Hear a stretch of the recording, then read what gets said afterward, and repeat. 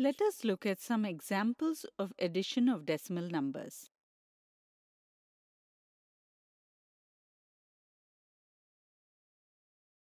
Rajesh purchased two shirts. He paid rupees 450 and 50 paise for the first shirt and rupees 333 and 70 paise for the second shirt. Find out how much he paid in total to the shopkeeper.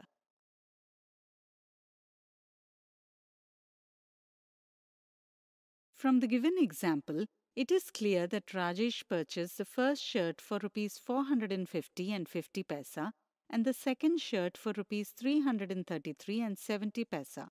Here we can see both the numbers are decimal numbers. To know the total amount he paid to the shopkeeper, we need to add these two numbers. To add them, first arrange them in the place value table.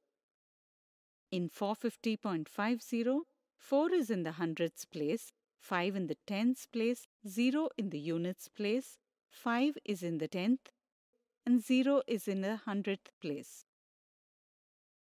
Similarly, we will arrange 333.70 in the place value table. As you can see that in both the numbers, number of digits are equal after the decimal point, so there is no need to use a zero here.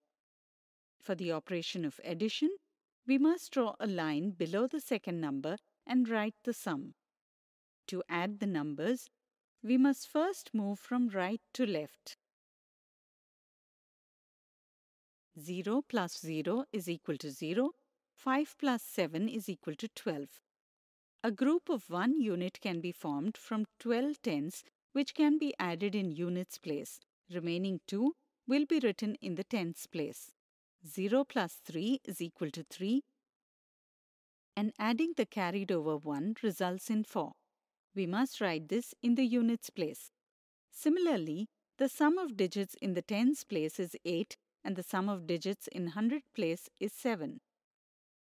Therefore, the sum of these decimal numbers is 784.20. Thus, the total amount Rajesh paid is rupees 784 and 20 paisa.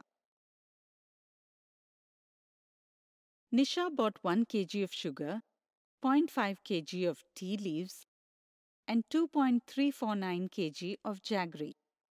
She put the items in her empty bag.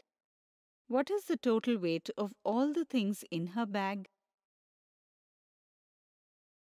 To find the total weight of all the things in the bag, we need to add 1 kg and 0.5 kg and 2.349 kg.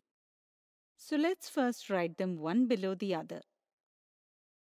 As you can see that the digits in the units place, that is 1, 0 and 2 are one below the other in the same column.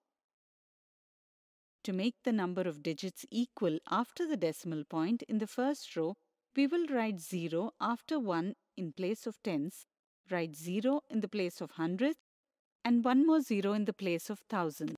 Similarly, in the second row after 0.5, we will write 0 in the place of hundreds and thousands.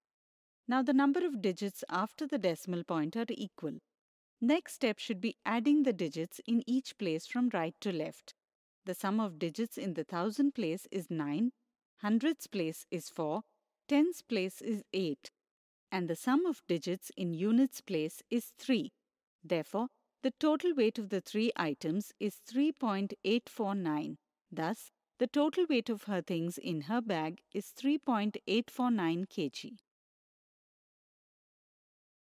Today, we saw the examples of addition of decimal number. In the next video, we will clarify some misconceptions on the same topic.